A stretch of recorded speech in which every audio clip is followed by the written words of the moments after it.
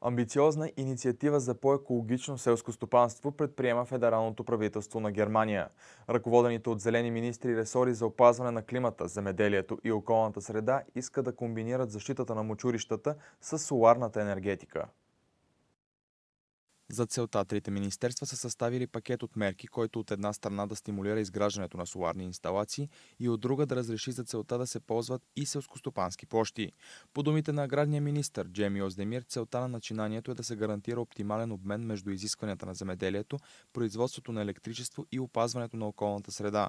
Мерките предвиждат субсидии за поставянето на слънчеви панели на нивите, което би дало възможност площите да се ползват както за отглеждане на култури, така и за енергийни нужди. По този начин стопаните гражданите ще получават финансови средства по две линии – по Закона за възобновяемите енергийни източници и от общата селскостопанска политика.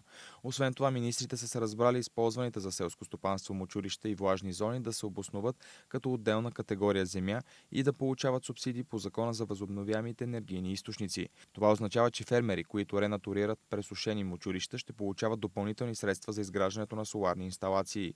Връщането на влажните зони в оригиналния им вид се смята за важна мярка, защото позволява улавянето улавянето на въглероден диоксид от атмосферата. От Земеделския съюз изтъкват, че ренатурирането трябва да е доброволно и достатъчно добре обезпечено финансово. Затова фермерската организация предпочита соларните панели да се поставят по покривите, а не върху земеделските площи. Вице-канцлерът и министър на економиката, който отговаря и за опазването на климата, си е поставил за цел до края на десетилетието 80% от електричеството в страната да идва от възобновяеми източници. Към днешна дата този дял е 40 на 100.